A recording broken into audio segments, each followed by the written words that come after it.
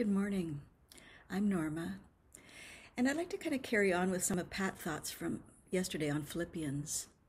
I'm looking at Philippians 4, verses 1 to 9, but I want to read verses 4 to 9 from the Kingdom New Testament by N.T. Wright. Celebrate joyfully in the Lord all the time. I'll say it again. Celebrate. Let everybody know how gentle and gracious you are. The Lord is near. Don't worry about anything. Rather than in every area of life, let God know what you want as you pray and make requests, and give thanks as well. And God's peace, which is greater than we can ever understand, will keep guard over your hearts and minds in King Jesus. For the rest, my dear family, these are the things that you should think through. Whatever is true, whatever is holy, whatever is upright, whatever is pure, whatever is attractive, whatever has a good reputation, anything virtuous, anything praiseworthy. And these are the things you should do what you have learned, received, heard, and saw in and through me, and the God of peace will be with you. Like most of us, I don't like conflict and I either try to ignore it or run away from it. But you know, left unresolved, it will just keep erupting, or it'll leave us with scars that can damage the work of the church. In Paul's letter to the church at Philippi, he openly addresses the elephant in the room.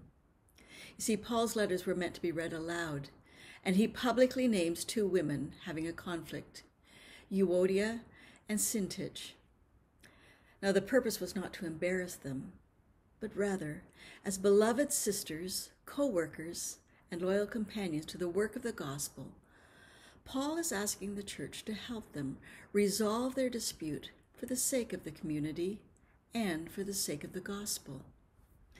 Now, Tom Wright points out that Paul has outlined four ways that as followers of Jesus, we should respond differently with joy, with gentleness, without anxiety, but in prayer and by allowing God's peace to guard our hearts and minds. Well, this is radically different from the way our egos tend to respond. You know, we want to win people over to our point of view, or at least let everybody know just how much we've been hurt or wronged. But the grace of understanding opens us to a way that we can use our inner gifts to draw out the gifts of one another. So seek to listen with an open heart and mind to what is stirring in you and what may be lying beneath the words of the other person. Feelings of anger, hurt, or frustration are natural, but be careful. Do not use harsh words which would cause insult or hurt another. It is about learning to move through conflict in love to build and restore relationships. And for this, we need to prayerfully seek God's will and guidance. We strive to build unity so the message of the gospel isn't hindered by our own egos or agendas.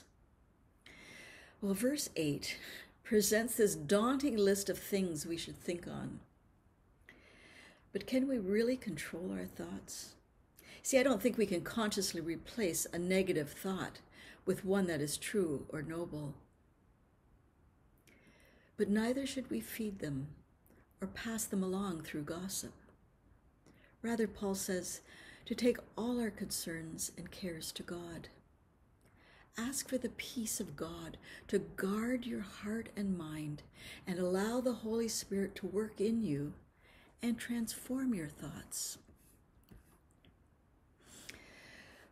Well, as I began to add final edits to my reflection, I sat watching the courage and strength of the Ukrainian people. A grandmother taking up arms to protect her home and family. A young man trying to push back a Russian tank with his bare hands. And I wondered if these words just seemed too trite.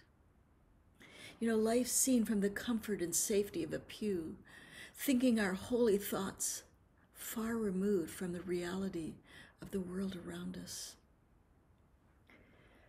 I believe Paul is inviting us into a new, deeper way of answering the charge to stand beside the lonely and oppressed, to push back against injustice and racism. Gentleness is a measure of incredible strength and integrity.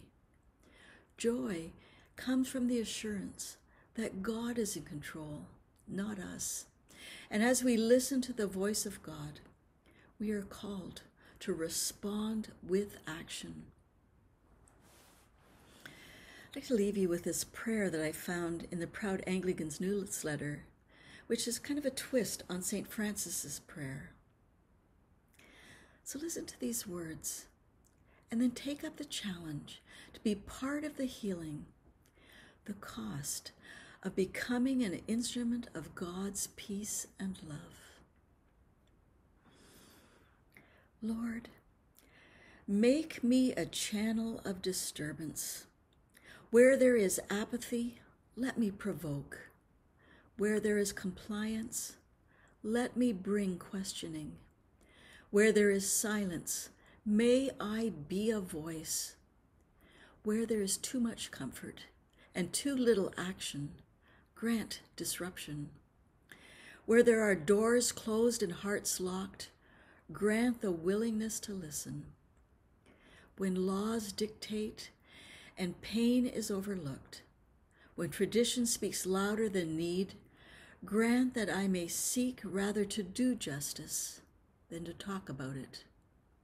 Disturb us, O Lord, to be with as well as for the alienated, to love the unlovable as well as the lovely. Lord, make me a channel of disturbance. Amen. Stay well, my friends. Until next time. Bye for now.